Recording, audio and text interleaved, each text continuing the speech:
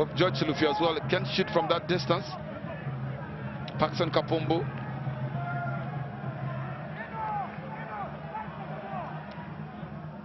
So Rapson Mucherenganga, former Power Dynamos goalkeeper, product of the Chiparamba Youth Soccer Academy. Tense moments. So let's see what Zanaco will produce on this one because the set pieces so far from Rodrick Kabwe that he has been presented with, he has failed to make them count. Very disappointing. Nothing to worry Rapson Mucherenganga.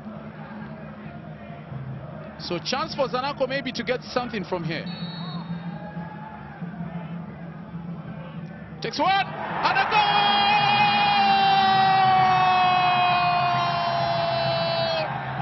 Zanaco have equalized here. So we've got a game on our hands here.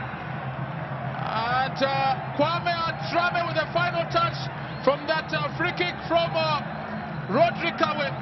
And so Kwame Attram, the Ghanaian, scoring his second goal in this 2016 campaign. I think even the goalkeeper was food on that occasion because Rodrigo was stepped back.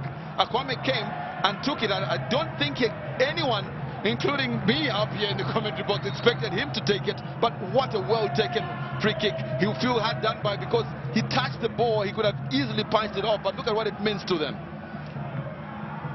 So Akwame with the